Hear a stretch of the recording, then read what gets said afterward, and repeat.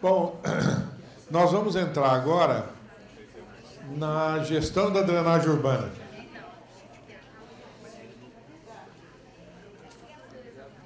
É, nós temos impactos da urbanização na drenagem, medidas sustentáveis na micro, macro drenagem, reurbanização. E para caracterizar inicialmente, é bom é, mostrar o que, que nós queremos dizer com é, é, sistemas na fonte e microdrenagem e macrodrenagem. Na fonte é no lote ou no empreendimento. Microdrenagem geralmente até mais ou menos 2 km quadrados de bacia. E macrodrenagem acima de 2 km quadrados de bacia. Esse mais aproximadamente são algumas definições. Então, fonte representa o lote ou loteamento, digamos, de um empreendimento. Microdrenagem até 2 km quadrados e macrodrenagem acima disso.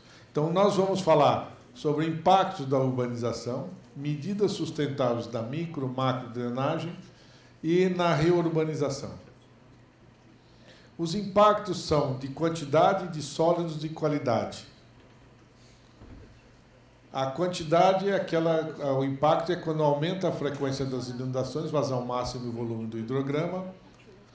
É, e os sólidos gerados pela erosão, transporte, deposição de sistemas fluviais, mais resíduos urbanos, que tende a gerar áreas degradadas e inundações. O terceiro impacto é referente à qualidade da, da água, da poluição pela lavagem das superfícies urbanas, contaminando a qualidade da água dos rios urbanos. São os três. Um, um outro impactos associado à quantidade é que aumenta a vazão máxima, mas diminui a recarga subterrânea.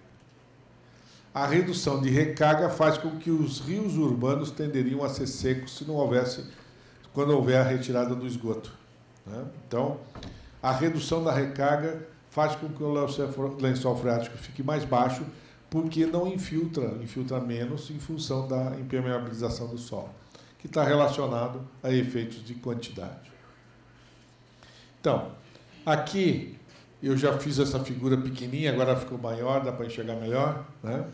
Da área natural para a área urbanizada.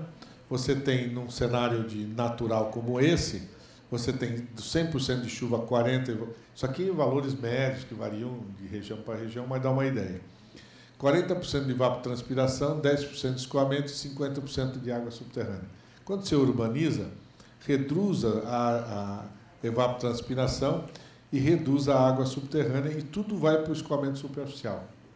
O que significa que o escoamento aumenta de 10% para 45% da chuva. Efeitos. A impermeabilização do solo faz com que maior volume escorra pela superfície, os condutos fazem com que a água chegue mais rápido a jusante, reduzindo o tempo de deslocamento da água na bacia, reduz o tempo de concentração. A soma dos dois efeitos faz com que os eventos de chuva menores produzam inundações nos locais onde a rede não suporta o aumento de vazão. Então, o que, que acontece? O hidrograma natural, que era esse, passa a ser um hidrograma como esse, aumentando e antecipando no tempo. Lugar que antes não inundava, passa a inundar. Isso aqui é um exemplo de uma bacia japonesa. Olhem aqui, ao longo dos anos, o tempo de concentração da, da bacia foi caindo, né? e, a, e o aumento da proporção da área urbanizada, fazendo com que isso fizesse isso. Né? E aqui a área urbanizada aumentando, tempo de concentração diminuindo. E os picos foram, foram aumentando para a mesma chuva. Para a mesma chuva, cada vez mais o pico foi subindo. Aqui, esses pontinhos pretos são dados de bacias americanas, são 44 bacias americanas. Eu consegui dados de 12 bacias brasileiras, que são os quadradinhos brancos. E aqui você tem que é o coeficiente de escoamento, que é vazão sob precipitação, em função da área impermeável. Você pode ver a tendência de crescimento do coeficiente de escoamento com a área impermeável.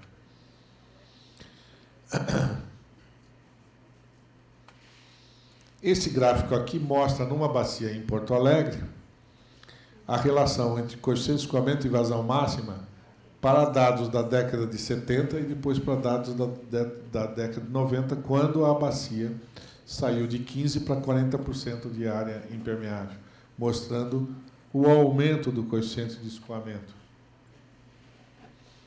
Que, como se dá isso? Se dá o seguinte: imagine que eu tenho uma bacia natural, tem esse hidrograma aqui. Aí vem e bota, entra o loteamento A. O hidrograma sobe para cá. Aí entra o loteamento B, o hidrograma sobe para cá. Entra o loteamento C, vem para cá. D. Ou seja, esse é o processo gradual que vai aumentando a vazão aqui nessa seção, em função dessa urbanização que ocorre eh, na bacia superior. E esse aumento vai até sete, oito vezes em relação às condições naturais, da vazão média de enchente. Normalmente, por questões topográficas, a cidade cresce de baixo para cima no, no rio, por questões topográficas. Tendência das zonas mais planas embaixo. E o que, que acontece? Quando cresce na parte superior, aumenta as enchentes aqui na parte que já está construída. Fazendo que o nível de inundação, que era esse, passe a ser esse. Então, você, você tem um, um desastre anunciado nesse processo. E a cidade não controla esse processo. Então, se, se você, é, em tese, dentro de uma cidade, toda a prefeitura seria ré pelo num processo de inundação, porque ela aprovou todos esses loteamentos e nunca controlou o aumento de vazão para a área urbana. Então, o, o indivíduo que está aqui, que culpa ele tem? É, é, a pergunta é a seguinte: por que deixar ocupar essa gente aqui se vai gerar produto, produto impacto aqui? Né? Aqui alguns exemplos de problemas. Isso aqui é em São Paulo, isso aqui é no Rio Tietê, né, e as macrodrenagens todas inundadas né, por inundação. Esse gráfico aqui eu fiz há muitos anos atrás. Esses pontinhos pretos aqui são as vazões médias de enchente de bacias rurais. Esses dois aqui eram de duas bacias que estavam em processo de urbanização. E essa aqui é da bacia do Belém, que pega o centro de Curitiba. Então, a vazão média de enchente versus área da bacia. Qual deve ser a vazão média de enchente do Belém em condições naturais? Seria mais ou menos por aqui. E olha quanto ela está. Como isso aqui é uma escala logarítmica, dá exatamente seis vezes de aumento. É, então, isso é uma forma de demonstrar. Isso era dados da década de 80. Sim, não sei como que está hoje, mas isso era dados da década de 80. O efeito da urbanização é maior com os tempos de retorno menor. Por, que, por quê? Porque é o seguinte, a infiltração, imagine que você tem essa chuva P2 a infiltração é essa, o escoamento superficial é esse. P1, a chuva P1, a infiltração é essa, o escoamento superficial é essa. Depois que atingiu a infiltração, tudo que vem a mais gera escoamento. Então, o efeito entre um cenário e outro, entre rural e urbano, é maior a diferença para chuvas menores né, do que para chuvas maiores. Então, nas frequentes, daqueles dois, cinco anos, a diferença entre o rural e o urbano é muito maior do que das 50 anos. Tá? Isso aqui é a tendência de crescimento das enchentes do Tamandantuí em São Paulo, isso aqui é 69 até 81, mas mostra nessa amostra de período já a tendência de aumento em função da urbanização. Isso aqui é em Porto Alegre, no Arroio Dilúvio, também mostrando a tendência de crescimento à medida que foi aumentando a impermeabilização. São cenas trágico-cômicas, né? o jet ski aqui, para pegar as pessoas que estavam no micro-ônibus. Isso aqui é São Carlos, isso aqui é Porto Alegre. E outro efeito é o aumento da temperatura da água dos rios em função da área impermeável, porque quanto mais impermeável é, numa cidade com temperatura maior, incidência maior do sol sobre a superfície dura, quando a água vem, ela aquece. E a, a temperatura do ar, aquilo que eu já falei, São Paulo, da diferença de temperatura no verão entre áreas verdes e centro da cidade chega a 16 graus centígrados. Aqui é Belo Horizonte. É, essas, aqui, essas três aqui é de Belo Horizonte. Pilar dentro da galeria. Aqui a, as vigas dentro da galeria. Isso aqui é em São Paulo, é o famoso Fusca Rolha. Essa foto é conhecida. O apelido dessa foto, da foto é Fusca Rolha. É, já está lavando tudo, né? Agora, falar em lavagem no Brasil, agora com esse, como é o, o Lava Jato, tudo é lavagem, né? É lavagem de dinheiro, Lava Jato, máquina de lavar. É, veja como a água influencia a, a política brasileira. Né? Aliás, a bicicleta trancando lá dentro do, do. Isso aqui é Caxias do Sul.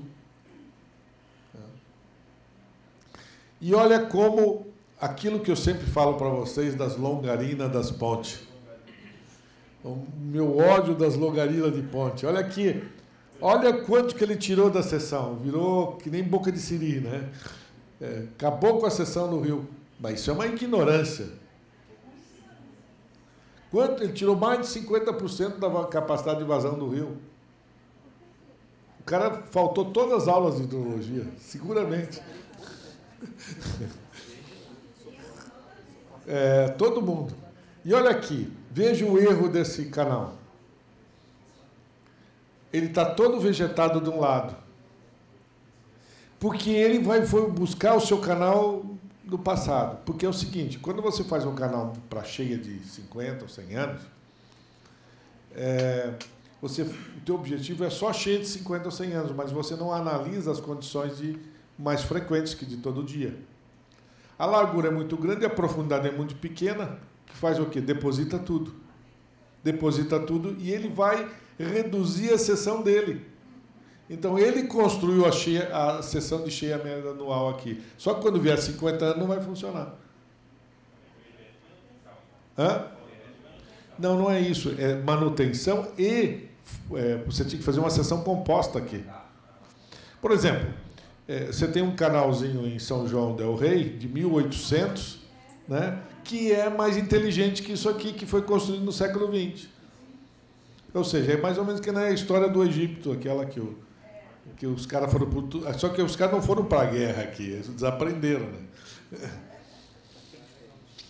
O que, que acontece? O efeito sobre alterações da seção do rio. Que efeito isso? Quando você aumenta a velocidade do escoamento, devido à urbanização, você vai ah, fazer erosão nas margens dos rios não protegidos. E aí você tem, ou dependendo se o leito tem mais capacidade de proteção do fundo, ele vai alargar dessa forma. Ele vai começa a, eh, onde a erosão é maior aqui, depois ele vai alargando, ele vai criando essa erosão aqui. E no, do lado contrário, se tem geração de sedimentos onde tem menor velocidade, ele vai depositar e produzir uma seção. Com 10% de área impermeável, a seção de um rio natural se torna instável. Com 10% de área impermeável. Instável. Isso aqui é o típico, ó. Isso aqui é jusante de uma área de urbanização. Olha aqui, a rede de esgoto foi toda embora. Tá? Aqui. Aqui erosão laminar, Vossoroca. Aqui, ó. Olha, olha como ficou todas essas ruas aqui. Desastre. Isso aqui é concreto, erosão no concreto. Aqui em Belo Horizonte tem muita erosão no concreto, porque tem muito minério de ferro. Isso aqui é colapso, porque na, como tem gases dentro do. Tem esgoto na rede pluvial e gases, ele vai e colapsa em certos lugares. Isso aqui é o gráfico que eu queria mostrar para vocês. Olha aqui, bolinha redondinha é canal que está estável. Onde estão as bolinhas? Estão todos aqui abaixo de 10% de área impermeável. Xzinho é canais estável. Estão todos acima de 10%. Então mostra claramente nesse exemplo de uma bacia americana, numa região americana, de que com 10% de área impermeável os canais já começam a se tornar todos instáveis. Então, quando você canaliza, você fala assim, canalizei, resolvi meu problema. Aí você vai erodir todo mundo lá embaixo. E é inundar as pessoas lá embaixo. E é, é impressionante, projetos de todo tipo. Sempre eu pergunto assim, tá bem, você canalizou aqui. E lá embaixo, o que, que vai acontecer? Ah, não, isso não é problema meu. É o irresponsável. É como você é um médico que trata do cara para por diabetes e mata ele por outra coisa. Né? É a mesma coisa. Aqui, antes e depois, numa área americana, como se deteriora. Esses são estimativas de sedimentos, é, valores médios de sedimentos em tonelada por quilômetro quadrado do ano. Em alguns países são dados de literatura da década de 90.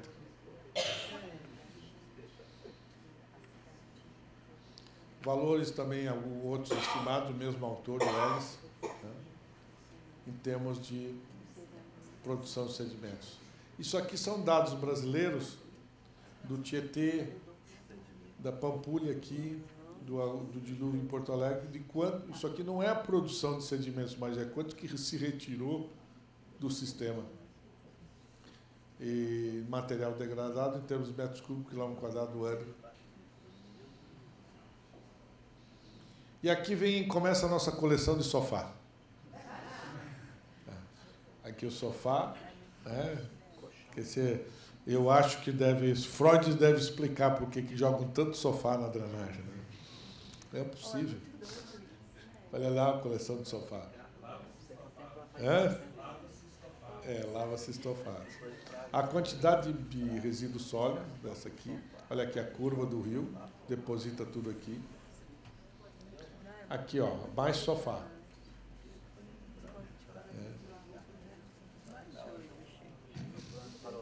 É. Aqui também, resíduo, resíduo. Né? Toda ela. É aquele, isso que eu já mostrei para vocês, dessa sessão aqui. E o cara está fechando, está vendo que vai fazer besteira, mas continua fazendo. Né? Para usar espaço, a tendência é cobrir galerias, sem manutenção pelas dificuldades da galeria ocorre obstrução. O resultado é a obstrução dos condutos com água escoando pela superfície das ruas. Teve um caso em, em Recife que eu vi, é que eles fecharam, as pessoas construíram a casa em cima do, do canal. Construíram, fecharam ela, não deixaram lugar para dar limpeza. Quer dizer, invadiram e construíram em cima do canal. Aí entupiu tudo. Só que aí inundava a rua. E não tinha como tirar aquelas pessoas para limpar o canal. E uma outra em Recife foi um cenário é o seguinte: toda a drenagem passava junto às propriedades que era comércio.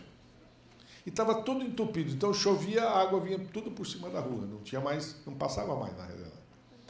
Aí a prefeitura fez um em termos jurídicos, ela de, de noite ela conseguiu eliminar para abrir os canais. E de manhã ela tirou, tirou tudo, o tampão de todas elas. Porque tinha lojas que o cara só não conseguia entrar na loja, porque a, a, o conduto passava na frente da loja, assim. Então eles tiveram que tirar tudo, botar uns pontilhões para as pessoas, para poder tirar todo o lixo que tinha lá dentro, para tentar recuperar a condição de drenagem. E isso era no limite entre Recife e Jabotão. Então ainda tinha um problema intermunicipal. Então a, a, a, o problema de você botar condutos e jogar o lixo para baixo é como se você estivesse na sua casa e todo dia que você lava, varresse, você jogava por baixo do tapete. Uma hora você vai ter que limpar esse negócio. Né? Olha aqui, ó. Olha aqui. É rio de plástico. Aqui também É. Isso aqui são produção de lixo na drenagem em, em diferentes países, em quilograma por hectare ano, que vai parar na drenagem, não é o que é, que é limpo nas casas. Porque o resíduos sólidos tem três componentes: o que é coletado nas residências, o que é limpo nas ruas e o que vai parar na drenagem, que esse ninguém dá bola, ninguém calcula. Né? Então, esses são valores de resíduos que vão parar na, na rua, na drenagem. Eu tive um aluno de doutorado que nós pegamos essa bacia aqui, que está marcada, e, e aqui é as, toda a drenagem dessa área vai sair nesse lugar aqui. Então, nós fizemos a batimetria desse lago e a prefeitura tem, quanto ela retira de resíduos sólidos na saída, nesse ponto, todos os dias. E tem, então nós pudéssemos saber o quanto que saiu da drenagem. Depois, de toda essa área aí, a prefeitura tem rua por rua estatística de quanto ela coleta, ela limpa a, a, a, é, todos os dias a varredura. E, e, o, e, e o que o aluno fez foi caracterizar o tipo do material que entra, que está antes de entrar na drenagem e o material que sai da drenagem. E quantificar. Pra, na entrada, a quantificação foi feita baseada em análise estatística que nós fizemos uma distribuição estatística, aí vem a da estatística, né? distribuição estatística dos dias chuvosos é, quanto à coleta. E a diferença é o que vai parar na drenagem em relação aos dias, a distribuição estatística dos dias que não são chuvosos. É.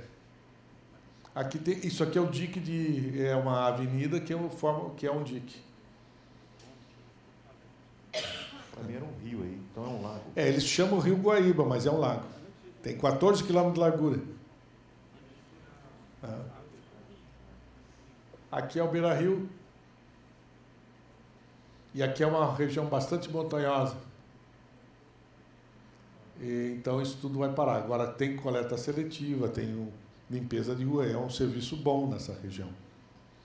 Então, se em oito meses. Ah, foi uma coisa interessante que o aluno fez ele pegou três garrafinhas e lançou de três pontos diferentes da bacia para calcular o tempo de concentração da garrafinha chegar na, no ponto de saída.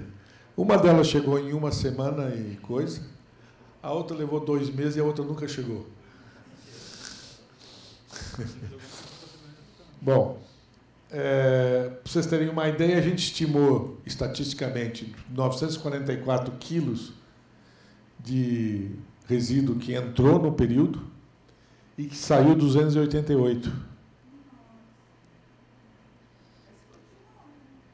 Aí vocês vão saber o que, que é, como, como que aconteceu. Olha aqui a caracterização. Entra é, 86,3% é plástico e papel que entra. E sai basicamente plástico. O papel des desaparece. ele deteriora, ele dissolve. Então, daquele que saiu, da parte que saiu, uma parte é papel que dissolveu. Então, na realidade, nesse período, 30 e poucos por cento ficou retido, é, que é principalmente plástico. Então, isso aí não é uma informação super importante. Primeiro, você sabe que só entra resíduo na, na drenagem no dia de chuva. Né? Só se o cara for lá enfiar. Né? Se entra no dia de chuva, que prática você poderia fazer para minimizar isso? Você, com previsão do tempo, você limpa melhor, dá ênfase para a limpeza melhor da, da, das ruas nos dias prévios à, à, à chuva. Bom, você vai reduzir bastante. Segundo, qual é a segunda lógica? Se plástico é o problema, nós temos que botar um preço nisso. Ou seja, botar um preço. Que tipo de plástico? O plástico que vai para lá não é um plástico sem valor. Aquele que não vale nada. É aquelas embalagens de, de supermercado, uma série de coisas. Então você tem que eliminar isso. Saco plástico de supermercado. Tudo isso você tem que identificar o que é que está acontecendo e procurar eliminar para diminuir isso aí. Mas é aquela coisa que nós já que eu falei lá no início, integração. Como que o cara que faz gestão de resíduo vai estar tá interessado na drenagem e o gestor público vai não integram nunca. Então, nós temos essas dificuldades. Mas nós temos aí os dados para poder tomar decisão. Identificamos o problema. Né? E temos que agir em termos de incentivo. Por que, que em Paris e outras cidades europeias você, supermercado, não tem saco plástico, é proibido. Ou se é saco plástico, você tem que pagar por ele. É, você tem que ter. Por que não voltar a sacola de, de, de, de não de papelão, né? ou a retornável? Vocês sabiam que antes de ter a garrafa plástica de refrigerante, a Coca-Cola tinha 60% do mercado. Depois, ela, hoje, ela tem 30 e poucos por cento do mercado. Porque na, no período anterior, que você tinha recicla, eh, que usava os mesmos embalagens, o capital de giro era muito maior, então as tubaínas essas, não conseguiam competir. Então, aí você vê como mudou o perfil. Agora, a, a garrafa plástica. E tem um outro problema no Brasil que é o seguinte: se você usar o reciclado, o reciclado não tem compensação de, de ICMS. E o novo tem. Então acaba ficando mais caro o reciclado. Quer dizer, é tudo sem lógica, né? Quer dizer, você tem que ter um incentivo. Agora, a minha, minha questão que eu coloco é o seguinte: se o plástico custa depois para limpar, por que não botar no preço dele esse custo? Quer dizer, se custa tanto para limpar ele, bota um preço para que ele tenha valor de reciclagem. Por que, que a latinha de alumínio você não encontra em lugar nenhum? Porque ela tem valor de reciclagem. Então, o que você tem que fazer é, no início, botar preço a esse valor de reciclagem. Então, são questões de gestão, o olhar de gestão para esses problemas. Mas essa informação é extremamente rica. É, é, é, o único trabalho que eu conheço que foi feito dessa forma, com exceção dos.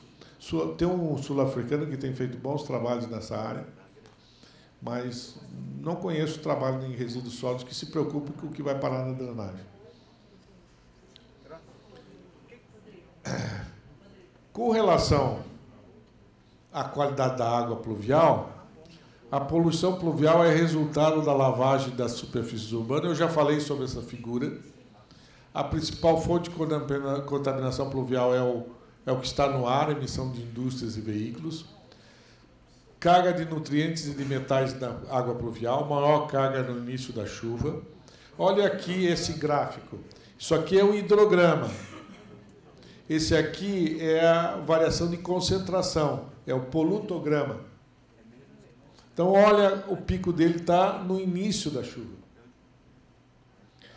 Só se houver chuvas anteriores que ele acaba ficando depois do, do pico do hidrograma. Mas quando ele é, é seco anteriormente, o, o, o pico está aqui, nessa parte. Então, 80% a 90% do, ocorre nos primeiros 25 a 30 milímetros de chuva. Vazões muito maiores que a de esgoto, de 1 para 100. Quer dizer, a vazão de drenagem urbana é 100 vezes maior que a, a do esgoto. 30 ou 50, depende do lugar. Controle, controle da poluição pluvial deve ocorrer sobre esse volume. Alguns dados de DBO, COD, todos esses parâmetros, em termos residencial, comercial, industrial e não urbana, valores médios americanos dão uma ideia para vocês da mediana dos valores e do coeficiente de variação. Não, não é São Paulo, não. não. Professor. Pois não. É só, é, quando você estava falando a questão aí dos resíduos, só voltando um pouquinho dois slides atrás aí. Só para dar um exemplo, que você falou muito da gestão, a gestão integrada, né, com outros setores. Sim. E além disso com a população, né, que a gestão de resíduos é integrada com é, o poder público Educação. e a população e tudo. Então só para elucidar aqui um exemplo, eu estava dando aula um dia para pós-graduação e na época o aqui em Belo Horizonte tinha proibido as sacolinhas, né? Os supermercados estavam com as sacolinhas aí proibidas. E aí, eu, falando sobre a questão de resíduos, aí o pessoal, todo mundo revoltado, porque não tinha sacolinha nos supermercados.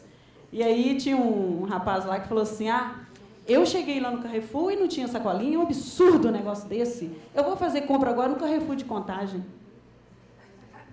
Porque contagem tinha sacolinha. É. Eu não vou mais vou fazer compra no Carrefour de contagem. Falei, nu.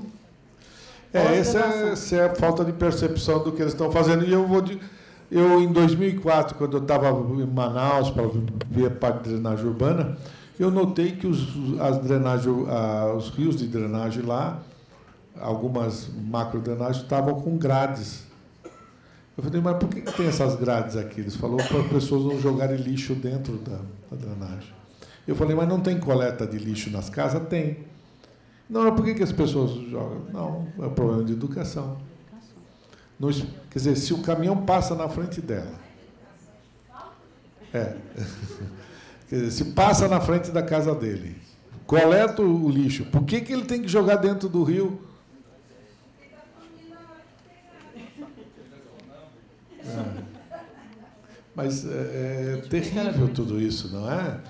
é um problema é um problema de educação significativo. É um problema cultural. Né? Cultural.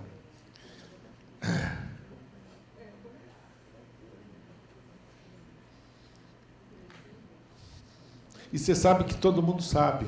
Um dia eu estava caminhando na rua e estava um gurizinho na minha frente, devia ter assim uns 4, 5 anos. De repente ele abre uma bala e joga o papel no chão. Eu não me aguento né, nessas horas. Eu falei, que feio, né? Ele voltou, correu e pegou o papelzinho. Ele sabia.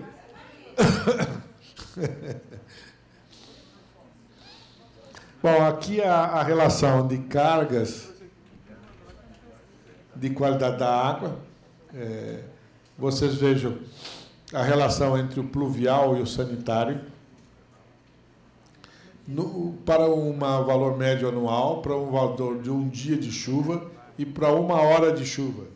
As relações entre sólidos totais do pluvial para o sanitário, DBO e, e, e é, chumbo, zinco e etc. Mostra como é maior a relação de metais na, na água pluvial. Valores comparativos de algumas cidades né, de águas pluviais. Bom, resumo da ópera.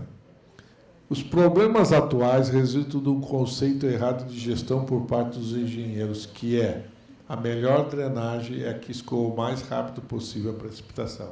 Isso é um conceito errado. Dá como consequência direta inundação e poluição. A política se baseia na canalização do escoamento apenas transferindo para jusante as inundações. canais e condutos podem produzir custo 10 vezes maior que o controle na fonte. Política de alto custos com aumento de inundação. Né? Até tem uma história interessante. Alguns anos atrás eu estava trabalhando para a Sudecap e eles me pediram para fazer uma apresentação aqui em Belo Horizonte. Eu fiz todas as histórias da canalização, todas essas coisas. Né? E eu não sabia, os meus amigos malandros me botaram logo depois de mim um engenheiro que tinha sido, que tinha desenvolvido o programa em Belo Horizonte de canalização, que era até programa de governo, que tinha, e eles diziam, fizemos tantos quilômetros de canalização no ano. E vinha logo depois de mim apresentar. Foi a situação mais constrangedora. O cara chegou, botou duas, três para transparência e foi embora.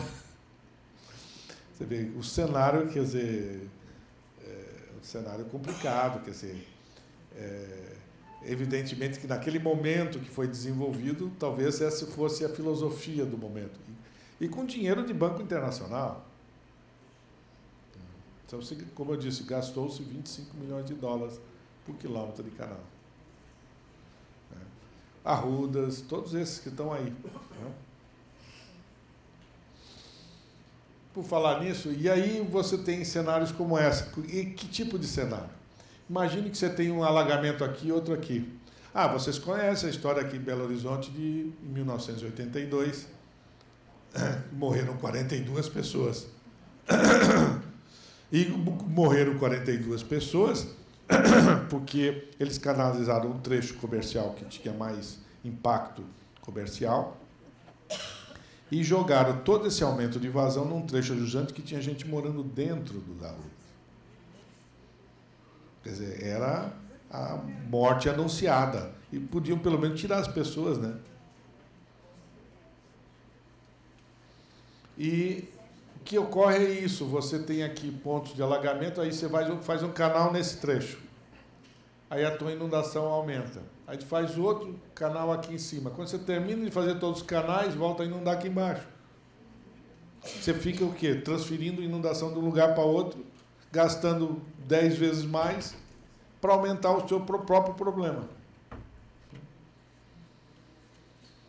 Outro cenário, que não é o caso talvez de Belo Horizonte, mas é o caso do Tietê e do Iguaçu em São Paulo, em Curitiba, é o seguinte, você tem aqui uma, essa população urbana. Olhando no detalhe, aqui você tem o rio passando e essa área de inundação. Aí você vai e constrói um canal aqui, nesse trecho. Aí a população vai toda para dentro do rio. E aí, quando urbanizar de novo, volta a inundar aqui. Só que aí você não tem mais espaço, né? Para fazer a gestão de inundação.